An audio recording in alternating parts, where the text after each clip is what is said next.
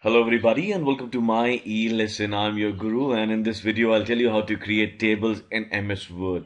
Well, in MS Word, tables are nothing but a, a set of grids which are aligned in columns and rows which help you in present your data in a beautiful manner. See, uh, th these are a few examples of tables that I've created in MS Word. See, a calendar, report, another report.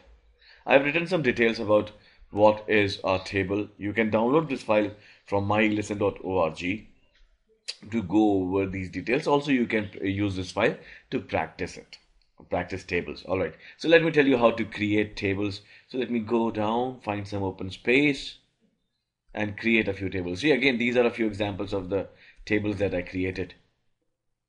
Alright, tables can be created pretty easily in, a, in MS Word. All you need to do is go to insert and go to this option tables.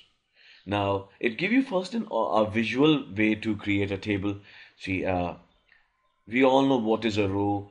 Uh, a row is collection of cells aligned horizontally stacked one upon one. So see I have selected four rows. So here we have one, two, three, four. Let me do one thing. Let me start my work from here. All right. So as we keep on selecting this, it shows four rows have added, five rows. Now I will uh, add columns. One column, two columns, three columns, four columns, five columns as many columns as I want and here I have my simple table. That's one way of creating it. There's another way. You go to insert you go to table and you click on insert table.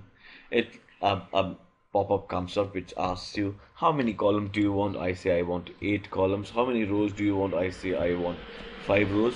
Would they have would the columns have fixed width? Let it be automatic. Auto fit to content? No not right now. I'll teach it I'll teach these options in the next videos press OK and here you have your next table. Easy and simple. All right? In the next videos I'll teach you more advanced things about tables like the design layout the, the sorry like the designs the layout and a few more things which I covered over here. All right? So okay let, let me teach you the one more thing before we go. How to make quick tables the ones that I created. Simple go to quick tables. And MS Word has some of the most beautiful tables built in. You can choose any one of those.